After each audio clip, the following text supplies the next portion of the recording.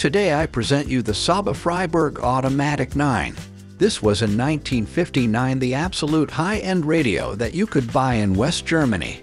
As features it had four large speakers, a push-pull tube power amplifier with two EL84, lighted keys and a motorized station search automatic.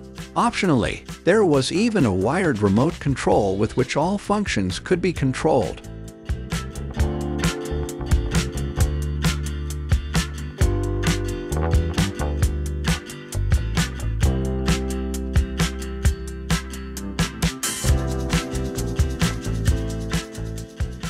For the station search, you had to press only one of the lower keys. The station search knob moves then as by magic.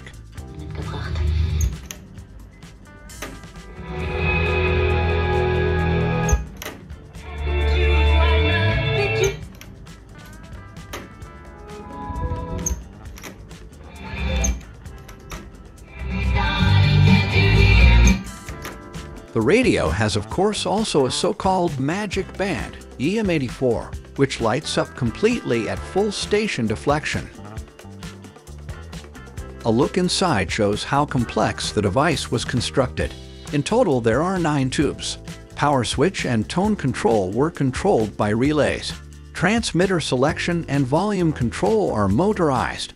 The motor could switch to the different wave ranges via clutch for the station search. The whole thing was very advanced for that time. With this device, the usual failures were to be found.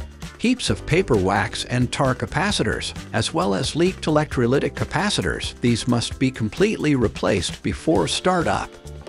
A common problem with the Saba Freiburgs is also the motor. In most cases, it does not work because the ECL80 is completely used up. Once replaced, the motor ran perfectly again. Lastly, the switching of the sound register from music to speech did not work.